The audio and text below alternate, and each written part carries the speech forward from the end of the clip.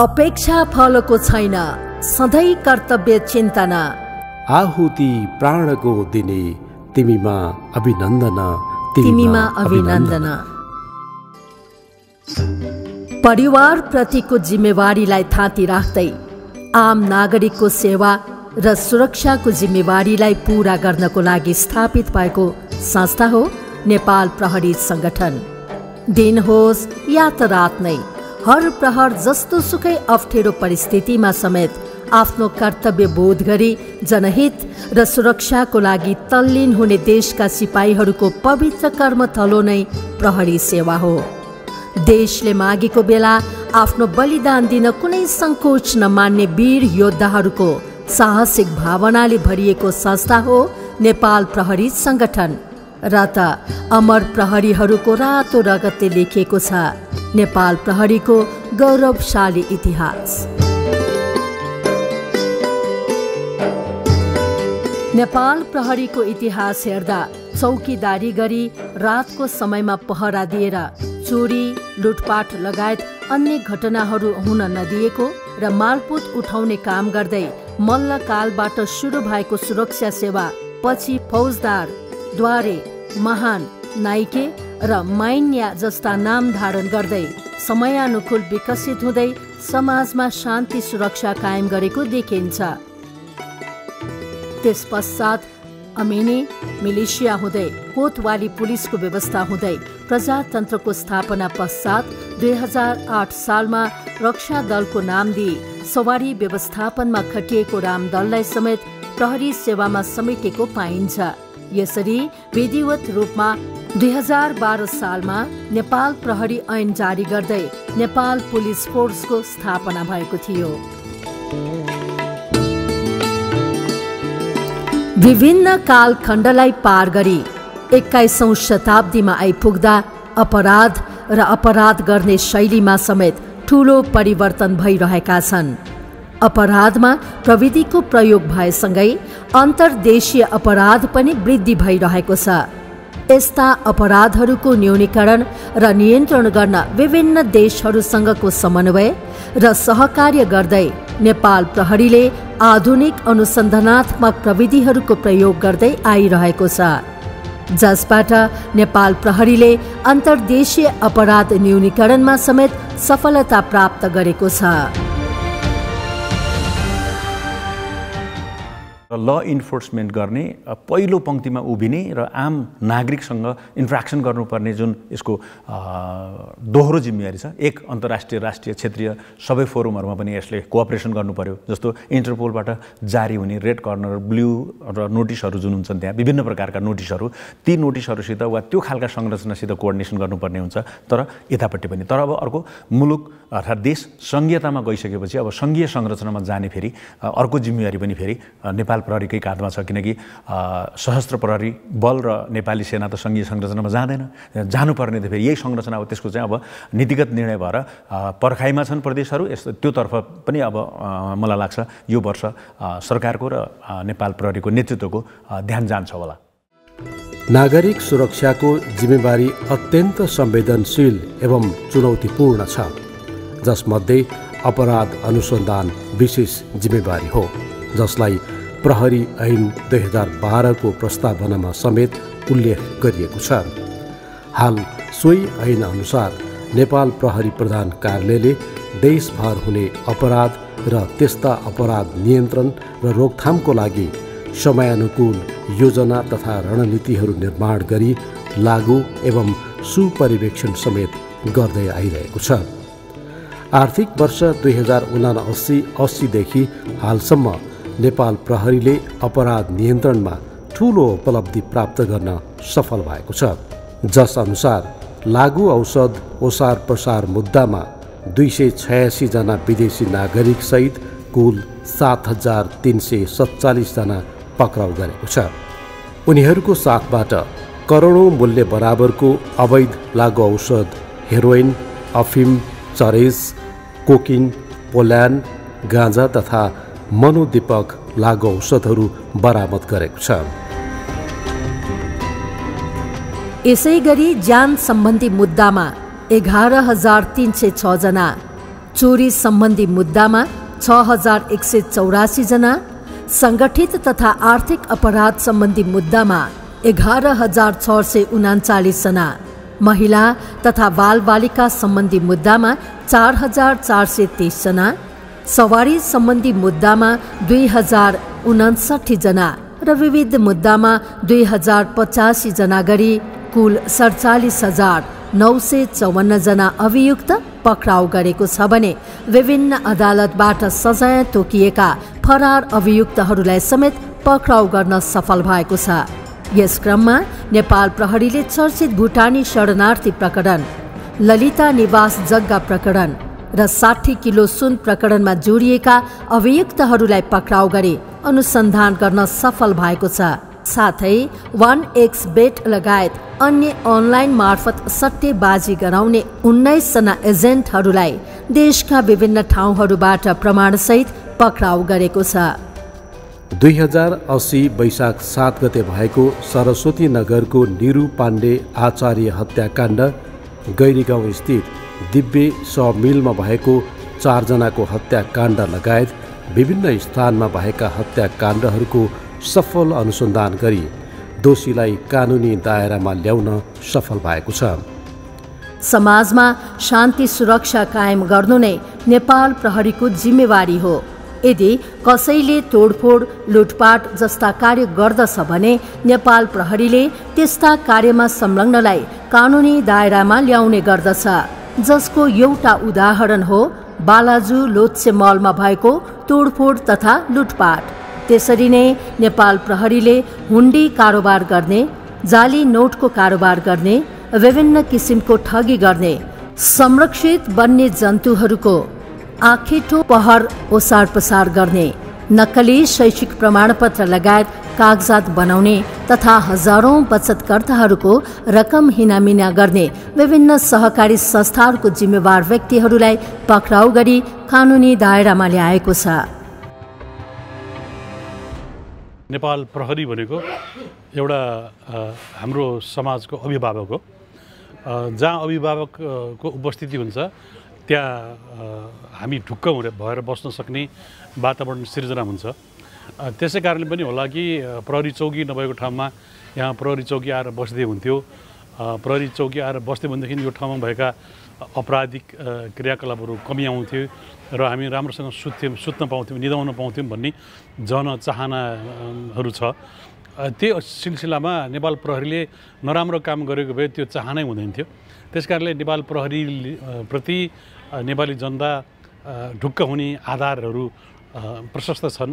र समाजमा भएका जघन्य अपराधहरूको अनुसन्धान गरी दोषीलाई कानुनी कठघरमा लगेर उभ्याउने काम नेपाल प्रहरीले गर्दै आएको छ। र त्यो हाम्रो नेपाल प्रहरीसँग जनताको सम्बन्धको एउटा सुन्दर ऐना हो त्यो। त्यो कारणले गर्दाखेरि पनि नेपाल प्रहरीले देशमा भइरहेको अब आपतकालीन अवस्था जस्तो दैवी प्रकोपहरू हुन्छ। त्यस्तोमा पनि नेपाल प्रहरीले आफ्नो सीमित साधन स्रोतले भ्याएसम्मको योगदान दिँदै आएको छ। त्यो एकदमै सराहनीय काम छ र नेपाली समाजले त्यसको तारिफ गरेका छन्। इन्टरपोल स्थापनाको शताब्दी वर्षको अवसरमा नेपाल प्रहरीको तर्फबाट प्रहरी वरिष्ठ नायब निरीक्षक पुरुषोत्तम नेपालीको टोलीले इन्टरपोलको झण्डा नेपालको झण्डा र नेपाल प्रहरीको झण्डालाई विश्वको सर्वोच्च शिखर सगरमाथामा पुर्याइएको थियो। जस्तै सिङ्गापुरमा सुरु भएको अठारौँ head of national central bureau NCB कन्फरेन्सको अवसरमा प्रहरी महानिरीक्षक वसन्त बहादुर कुँवरले इन्टरपोलका president Ahmed Naser Al Raisi र महासचिव जर्गिन स्टकलाई प्रहरी वरिष्ठ नायब निरीक्षक पुरुषोत्तम नेपालीले विश्वको सर्वोच्च शिखर सगरमाथाको चुचुरोमा फहराइएको इन्टरपोलको झण्डा हस्तान्तरण गर्नुभएको थियो। साथै इन्टरपोल स्थापनाको एक सयौं वार्षिकोत्सव तथा अन्तर्राष्ट्रिय प्रहरी समन्वय दिवसको अवसरमा सम्माननीय प्रधानमन्त्री पुष्पकमल दाहाल प्रचण्डबाट हुलाक टिकटको विशेष संस्करणात्मक आवरणमा प्रथम टाँचा लगाउने कार्यक्रम समेत सम्पन्न भएको छ।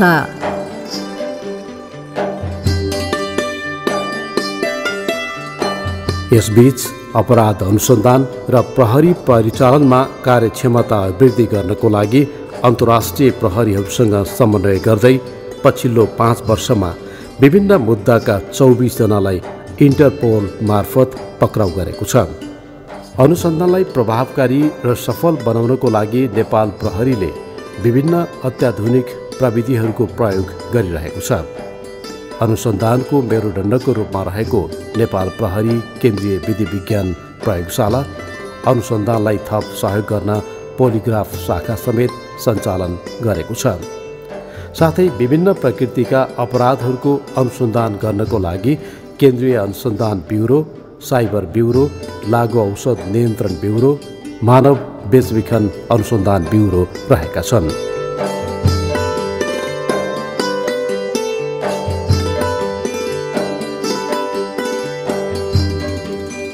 अपराध अनुसन्धान र नियमित शान्ति सुरक्षासँगै नेपाल प्रहरीको अर्को महत्त्वपूर्ण जिम्मेवारी ट्राफिक व्यवस्थापन पनि हो।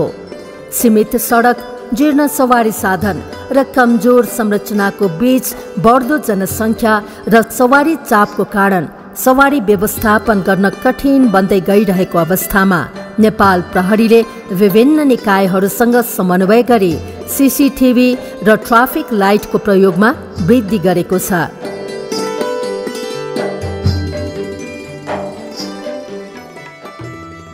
त्यसै गरी दुर्घटना न्यूनीकरणको लागि सवारी गति चेक गर्नको लागि आधुनिक प्रविधि लेजर स्पिड गनको प्रयोग गरेको छ भने मापासी चेक गर्नको लागि ब्रेथलाइजर र लागु औषध सेवन परीक्षण मेसिन समेत प्रयोगमा ल्याएको छ।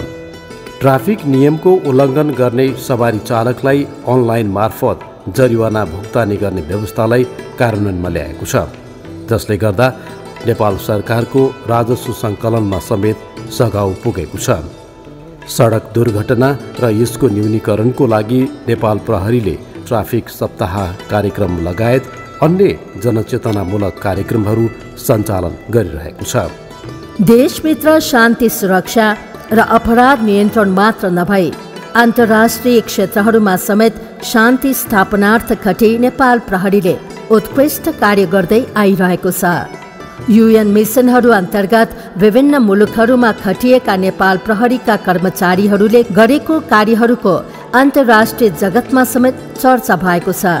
जसबाट नेपाल प्रहरी देशभित्र मात्र नभई देश बाहिर पनि उत्कृष्ट प्रहरी सेवाको लागि सक्षम छ भन्ने कुरा स्पष्ट हुन्छ।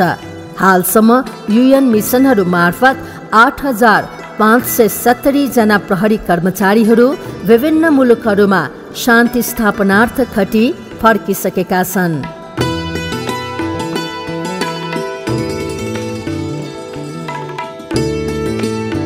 अपराध अनुसन्धानमा सफलता प्राप्त गराउन नेपाल प्रहरी केनाइन महाशाखा र प्रदेश अन्तर्गतका शाखाहरूमा रहेका तालिम प्राप्त कुकुरहरूले विशेष सहयोग गर्ने गरेका छन्।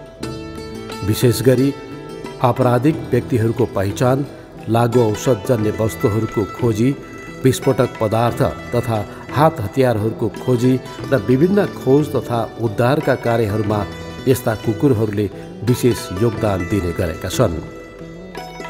जसको कारण नेपाल प्रहरीले पछिल्लो समयमा ठुल्ठुला अपराध अनुसन्धानमा सफलता पाएको छ। नेपालको शान्ति सुरक्षा कायम गर्नको लागि महत्त्वपूर्ण भूमिका खेल्ने प्रमुख सङ्गठन नेपाल प्रहरीको अडसट्ठीौँ प्रहरी दिवसका अवसरमा म समग्र नेपाल प्रहरी परिवारलाई हार्दिक शुभकामना व्यक्त गर्दै आगामी दिनमा शान्ति सुरक्षामा आइपर्ने चुनौती लगायत र अन्य क्षेत्रमा जसरी नेपाल प्रहरीले काम गरेको त्यस क्षेत्रमा पनि सफलताको म कामना गर्छु र नेपाल प्रहरीको सफलताले नेपाली जनतालाई ढुक्क भएर बस्ने वातावरण सृजना हुन्छ भन्ने मलाई लाग्छ। र त्यो ढुक्क भएर बस्ने वातावरण सृजनाका लागि नेपाल प्रहरीको उच्च मनोबल आगामी दिनमा कायम रहोस् भन्ने शुभकामना पनि व्यक्त गर्न चाहन्छु। नेपाल प्रहरीले विभिन्न राजनैतिक दलहरू तथा समूहहरूले गर्ने आन्दोलन प्रदर्शन धरना बन्द विरोध जस्ता कार्यक्रमहरूमा सार्वजनिक सम्पत्तिको सुरक्षा गर्दै प्रदर्शनकारीहरूको व्यवहार अनुसार भिड नियन्त्रणको सिद्धान्त अनुरूप प्रहरी कार्य गर्दै आइरहेको छ। नेपाल बहुसांस्कृतिक बहुजातीय र बहुभाषी मुलुक हो। त्यसकारण नेपाल प्रहरीले विभिन्न समयमा हुने मेला जात्रा तथा चाडपर्वहरूमा नागरिकको सुरक्षा प्रदान गर्दै आइरहेको छ भने राष्ट्रिय तथा अन्तर्राष्ट्रिय उच्च पदस्थ व्यक्तिहरूको सवारी सुरक्षा लगायत विशिष्ट व्यक्तिहरूको नेपाल भ्रमणको समयमा उच्च स्तरीय सुरक्षा समेत प्रदान गरेको छ।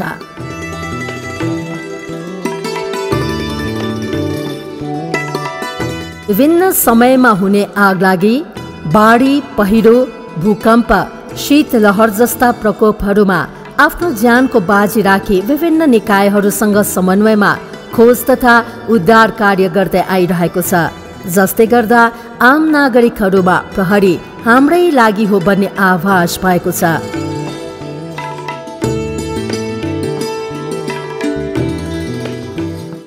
हरेक नेपालीको ढुकढुकी जस्तो प्रहरी भनेको त होइन? किनकि हरेक आपद विपद पर्दा होस् साथ सहयोग चाहिँ नि प्रहरीकै हुन्छ। आगो लागि होस् बाढी पहिरो जाओस् अर्थात् भूकम्प आओस् अर्थात् कुनै आपद टोलमा हुने झै झगडादेखि लिएर घराइसी झगडामा पनि प्रहरीले नै त्यसको निवारण गर्न खोज्छ। यस अर्थले चाहिँ नि प्रहरीले चाहिँ नि गरिरहेको कामहरू चाहिँ जुन काम गरिरहेछ प्रहरीले पछि अझ पहिलाभन्दा अहिले चाहिँ नि अझ राम्रो प्रहरीले आफ्नो का कार्य दक्षतालाई चाहिँ अझ बढाउँदै गएको छ। कसरी समाजमा गएर एउटा सुशासन कायम गरौँ होइन सुरक्षा कसरी प्रदान गरौँ मान्छेलाई कसरी प्रत्याभूति गरौँ म सुरक्षित छु भन्ने चाहिँ प्रत्याभूति गरौँ समाजलाई व्यक्तिलाई नै एज अ व्यक्तिलाई समेत भनेर चाहिँ प्रहरीले रोल खेलिरहेको छ। दुई हजार चालिस सालमा स्थापना भएको तत्कालीन वीरेन्द्र प्रहरी अस्पतालले बहालवाला प्रहरी कर्मचारी अवकाश प्राप्त प्रहरी कर्मचारी र प्रहरी कर्मचारीहरूको आश्रित परिवारहरूलाई स्वास्थ्य सेवा पुर्याउँदै आएकोमा दुई हजार चौहत्तर कार्तिक छब्बिस गतेबाट सर्वसाधारणहरूको लागि पनि सेवा उपलब्ध गराउँदै आएको छ। साथै विभिन्न समयमा दुर्गम तथा विपदजन्य क्षेत्रहरूमा स्वास्थ्य शिविर समेत सञ्चालन गर्दै आइरहेको छ। नेपाल प्रहरीको छविलाई अझै उच्च बनाउन फुटबल भलिबल क्रिकेट र एथलेटिक्स जस्ता खेलहरूबाट प्रहरीका खेलाडीहरूले राष्ट्रिय तथा अन्तर्राष्ट्रिय रूपमा प्रहरी सङ्गठनको नाम राख्न सफल भएका छन्। मित्र राष्ट्र चीनमा जारी उन्नाइसौँ एसियन गेम्समा टी ट्वेन्टी क्रिकेट प्रतियोगितामा राष्ट्रिय क्रिकेट टिमको प्रतिनिधित्व गरी उत्कृष्ट खेल प्रदर्शन गर्न सफल नेपाल प्रहरीका पाँचजना क्रिकेट खेलाडीहरूलाई सम्मान गरिएको छ। साथै नेपाल प्रहरी क्रिकेट टिमका कप्तान दिपेन्द्र सिंह ऐरीले मङ्गोलिया विरुद्धको खेलमा नौ बलमा अर्धशतक पूरा गर्दै विश्व कीर्तिमान कायम गर्न सफल भएका थिए। यसको उच्च मूल्याङ्कन गर्दै नेपाल प्रहरी सङ्गठनले खेलाडीको मनोबल वृद्धि गर्न दिपेन्द्र सिंह ऐरीलाई प्रहरी सहायक हवलदार पदमा विशेष बढुवा गरेको छ। नेपाल प्रहरीले समुदाय प्रहरी साझेदारी कार्यक्रम र अन्य कार्यक्रम अन्तर्गत आपराधिक क्रियाकलापहरूका विरुद्ध जनचेतना जगाउने खालका कार्यक्रम तथा अभियानहरू सञ्चालन गरिरहेको छ। विभिन्न साझेदार सङ्घ संस्थाहरूको सहकार्यमा साइबर सुरक्षा अनलाइन ठगी लगायत अन्य विभिन्न प्रकारका अपराधहरू सम्बन्धी टेलिचलचित्र पिएसए निर्माणका साथै रेडियो कार्यक्रम पुस्तक प्रकाशन गरी प्रचार प्रसार गरेको छ जसबाट समाजमा हुने अपराध न्यूनीकरणमा ठुलो सहयोग पुगेको छ। यो अडसट्ठीौँ नेपाल प्रहरी दिवसको उपलक्ष्यमा म नेपाल प्रहरीलाई धेरै धन्यवाद दिन चाहन्छु र शुभकामना दिन चाहन्छु। यस प्रसङ्गमा चाहिँ हामीले जोड्नुपर्ने कुरा नेपाल प्रहरीले एकदमै अप्ठ्यारो परिस्थितिमा काम गरेर जनतालाई चाहिँ सुशासन दिने र शान्ति सुरक्षाको चाहिँ प्रत्याभूति दिने काममा धेरै हदसम्म सफलता पाएको छ। ट्राफिक व्यवस्थापनकै कुरा गरौँ यस्तो अप्ठ्यारो परिस्थितिमा पनि यो सब कामको लागि चाहिँ नेपाल प्रहरी धन्यवादको पात्र छ। म पनि प्रोफेसनल हो तपाईँहरू पनि प्रोफेसनल हो। हामी प्रोफेसनलहरूले आफ्नो ड्युटी जनताको पक्षमा निडर भएर चाहिँ सम्पादन गर्नुपर्छ भन्ने लाग्छ र म यही शुभकामना नेपाल प्रहरीलाई दिन चाहन्छु। आम नागरिकलाई सुरक्षाको प्रत्याभूति दिलाउन र देशमा शान्ति सुरक्षा कायम गर्ने क्रममा आफ्नो प्राणको आहुति दिई। नेपाल प्रहरीको गौरवशाली इतिहास लेख्ने वीर तथा अमर प्रहरीहरूप्रति नेपाल प्रहरी सङ्गठनका समस्त कर्मचारीहरू आजको यस घडीमा नतमस्तक भई भावपूर्ण श्रद्धाञ्जली अर्पण गर्दछौँ। नेपालको संविधान तथा विभिन्न ऐन कानुनहरूको अधीनमा रही अन्तर्राष्ट्रिय रूपमा कार्यान्वयन भएका प्रचलित कानुनलाई समेत अङ्गीकार गर्दै सुरक्षा र सेवामा नेपाल प्रहरी निरन्तर समर्पित छ। अडसठौँ प्रहरी दिवस एवं नेपालीहरूको महान चाड बडा दसैँ शुभ दीपावली नेपाल सम्बत तथा छठ पर्व दुई हजार असीको पावन अवसरमा नेपाल प्रहरीका सकल दर्जाका प्रहरी अधिकृत तथा जवानहरू सेवानिवृत्त प्रहरी कर्मचारीहरू प्रहरी परिवार तथा अमर प्रहरीका स्वजनमा व्यक्तिगत तथा पारिवारिक सुस्वास्थ्य समृद्धि एवं उत्तर उत्तर प्रगतिको शुभकामना व्यक्त गर्दछु। प्रहरी दिवसको यस पवित्र घडीमा देश र देशवासीको समर्पणमा राष्ट्र सेवाको सिलसिलामा आफ्नो जीवन बलिदान गर्नुहुने नेपाल प्रहरीका वीर अमर सपुतहरूको स्मरण गर्दै उहाँहरूको दिवङ्गत आत्माको चिर शान्तिको कामना समेत गर्न चाहन्छु। उहाँहरूको योगदान र बलिदान नेपाल प्रहरीको इतिहासमा सदैव अमर रहनेछ। यस अवसरले कानुनको परिपालना तथा कार्यान्वयन गर्न र आम नागरिकमा प्रहरी सेवा प्रवाहमा अविचलित रही अहोरात्र कर्तव्यपथमा परिचालन हुन थप ऊर्जा एवं प्रेरणा मिलोस् भन्ने कामना समेत व्यक्त गर्दछु। धन्यवाद जय नेपाल